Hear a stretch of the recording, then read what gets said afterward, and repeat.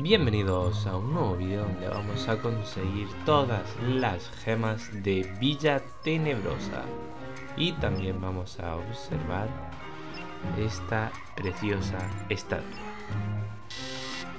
Mirad qué preciosidad hemos conseguido completar todas las gemas. Vamos a comenzar. Todos han conseguido en el nivel A5 excepto una que la tenemos que hacer en el A3, obligatoriamente. Aquí estamos con la primera gema, que es la del patio. Podemos ir consiguiéndola por, mediante todo el modo de historia, pero yo los he conseguido expresamente en este nivel, porque es donde prácticamente te deja más libertad a la hora de recoger todas las gemas. Así que la primera es nada más que abrir esa puerta, la del patio.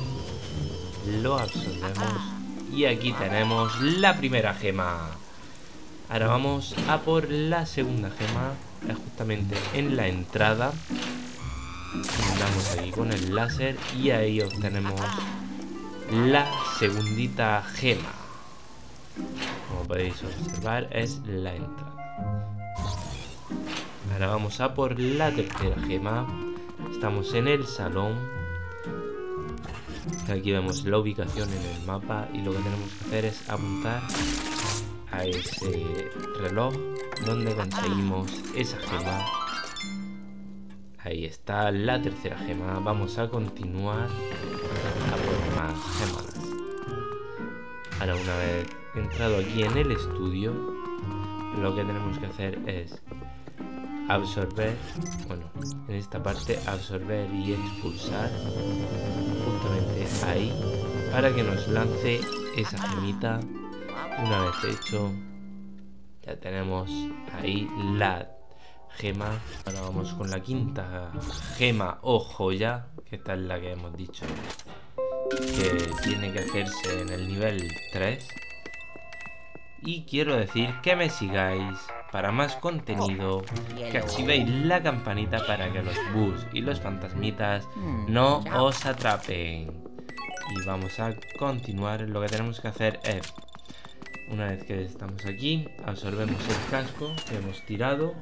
Y ahora apuntamos a donde está el casco, disparamos y nos saldría la quinta gema. A continuación vamos con la sexta joya o gema, como le queráis decir. Se encuentra en el comedor. Lo que tenemos que hacer es apuntar ahí arriba, en esta parte del comedor. Disparamos, pero no. Tenemos que apuntar ahí. Una vez que hemos disparado, se vendrá la joya a la silla. A continuación vamos a la siguiente joya que se encuentra en la cocina. Lo que tenemos que hacer es absorberlo o sacarlo de ahí. Pero antes de todo venimos, activamos el fuego. Una vez que se está activando el fuego, lo absorbemos y lo llevamos al fuego para que se derrita. Y ya así desbloquear esa joya. La siguiente joya se encuentra, bueno, esta es la localización de la de la cocina.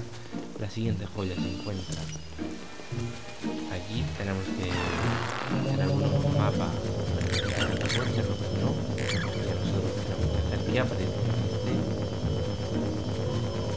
Aparezca esta puerta. Entramos.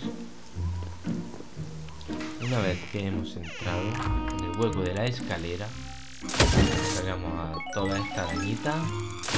Ahí a conseguir un poquito de dinero que nos vendrá muy bien.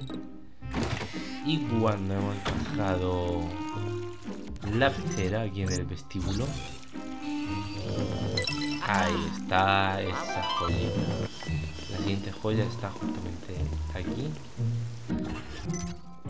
Eh, en el patio trasero tenemos que hacer que aparezca la movimiento estatua todo y nos daría esa bonita gemita a continuación vamos a por la gema número 10. Se encuentra aquí en la biblioteca. Y lo que tenemos que hacer es aparecer, hacer que aparezca el sol, el planeta, o si lo tenemos, acercarnos, absorberlo y una vez absorbido, disparamos y ya estaría esa gema. Número 10. A continuación vamos con la número 11. Se localiza en el despacho. Tenemos que quitar las cortinas.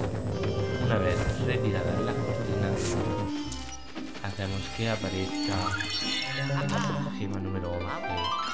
A continuación vamos a por la gema número 12. Esta se encuentra aquí. Solamente hay que absorberla directamente. La número 13. Bueno, está en el altillo. Y la número 13 tenemos que hacer en el dormitorio que aparezca aquí el fuego. Recomiendo que esta no sea la última en conseguirla, que pueda echar de zona, de la araña. Y aquí tenemos que meternos para conseguir la última gema. Y hasta aquí el vídeo de hoy, espero que os haya gustado, que dejéis ese pedazo de me gusta, que compartáis el vídeo y nos despedimos hasta otro vídeo.